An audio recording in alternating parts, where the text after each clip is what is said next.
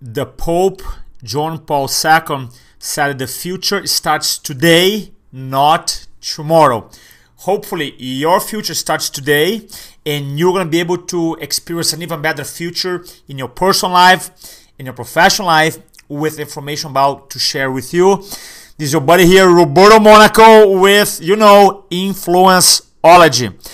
I personally believe there is a massive trend right now impacting small business, big business, salespeople, entrepreneurs, even CEOs. is massive. I have a crystal ball, I can see the future. Now, this trend is what I call presentation versatility, which is one's capacity to communicate his or her message using different presentation vehicles or formats. Now, presentation versatility is different than presentation flexibility. When you're doing a presentation, for example, and something's not working, you gotta change your approach. That's what I call presentation flexibility. This video though is about presentation versatility because it's a trend that is impacting every single successful entrepreneur, business owner, and I'm sure it's impacting you at some level. Now, this is like really powerful stuff. I get so excited most people, most entrepreneurs have mastered their one-on-one presentation, their capacity to sell their products or services, because ultimately boils down to the last conversation for most people, the presentation that you have. So most people are very effective doing the one-on-one presentation. But I want to give a quick metaphor here to make my point very clear. Now, let's say you want to learn boxing and you become a really good boxer and then you go to a real fight, someone says, hey, you want to fight that guy? Say, yeah, I want to fight that guy. And you start fighting, and if you're a really good boxer, you can do very well. Boxing was very popular sport, still a very popular sport. But the last, I don't know, 10 years, something else came up. Huh? And what came up is MMA or mixed martial arts. Because in mixed martial arts not only they know boxing not only they know grappling but they know jiu-jitsu and they know kickboxing. Now let me ask you this. If they want to fight who do you think is going to win? The boxer or the MMA fighter? Who do you think is going to win?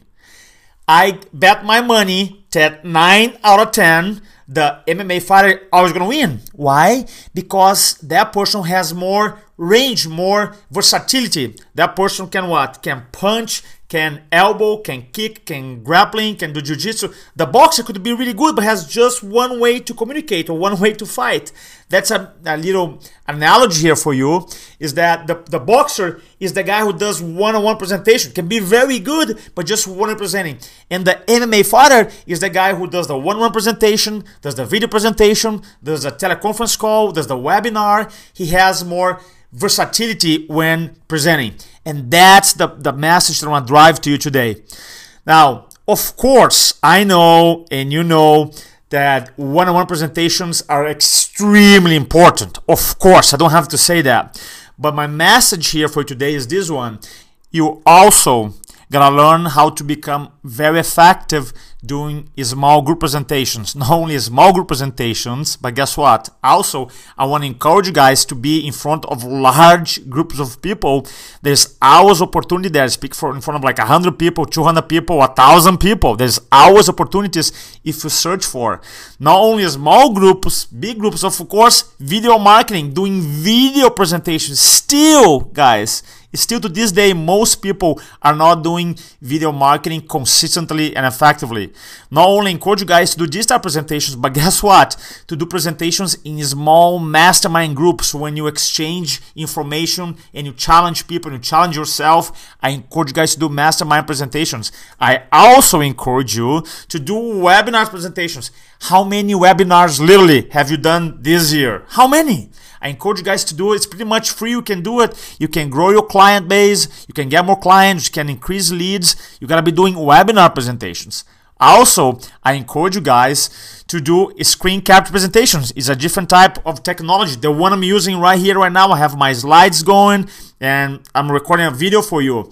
Different type, different type of video than just talking head. I encourage you guys to do it. Are you doing that consistently? With some people call screencast presentations.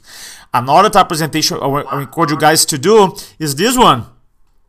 Interview presentations using Skype technology is free. You can do it. It's very simple. It's available to anybody to interview referral partners, prospective clients, testimonials. It's a digital presentation. You gotta learn how to do that. You see, there's a variety of presentation tools for you available right there. About whiteboard? Are you effective using whiteboard? Some successful speakers they do whiteboard presentations in small groups and large settings. Another way, another format to communicate your message. You can see I can go on and on and on and on and on about the opportunities for you. You can do radio presentations. You can do TV presentations. You can do teleseminar presentations, you can do podcast presentations. There's all different venues for you to communicate your message to more people. Now, I want to give you three quick principles here because I want to make sure this video doesn't get too long. Number one, that different presentation vehicles or formats require different strategies. That's really important. It's not the same thing. For example, when I'm doing live public speaking in front of like 500 people or 50 people, I like to open a presentation with stories because the stories hook people in. However, stories take time, sometimes two minutes or a minute, three minutes. When I'm doing video presentation, for example, people don't watch video that long. They decide maybe in six, seven seconds I want to watch this or not. So most of my videos, I never open my video presentation with story. I try to engage using a prop, maybe a question, a quote statistics, but I don't use the stories because the stories takes too long. See, different presentation vehicles require different strategies. The second quick point here I make is this one, is that yes, you can be very effective and learn all these different presentation vehicles, all of them. Anybody, anybody can learn. It's not hard. One of our clients that is in our mentor program right now, in three months, He's a machine though. He recorded 53 videos and made thousands and thousands and thousands of dollars on YouTube alone, videos. And prior to three months, he never recorded any video. In three months, 53 videos, thousands and thousands of dollars, new clients using a different presentation vehicle. He had the message, he just communicates now using a different uh, format. And the third point I want to make is this one it's about your clients. Really, it's not about you, it's about your clients and your prospective clients. Let me give a little analogy here. Let's say you want to go fishing. Then, what are you going to use for bait? Worms, right? Question Do you eat worms? Do you like worms? No, you don't. But you use them? Yes. Why? To catch fish, because the fish likes it. Well, nowadays, Guess what? People love webinars because they don't have to travel. They can watch webinar from their office or home. People love videos because that's how they consume information. As a matter of fact, Americans today, 182 million Americans watch in average 22.3 hours of video per month, more than TV. Think about that. So they are consuming information differently. The question is, are you communicating your expertise differently? Or you're like the old guys old girls communicating the same old way that you're communicating 20 years ago. If you are, I have bad news for you. You're going to be left behind because people are consuming information differently. I'm not trying to scare you. Hey, just look at statistics. Look at the trend, how people consume information.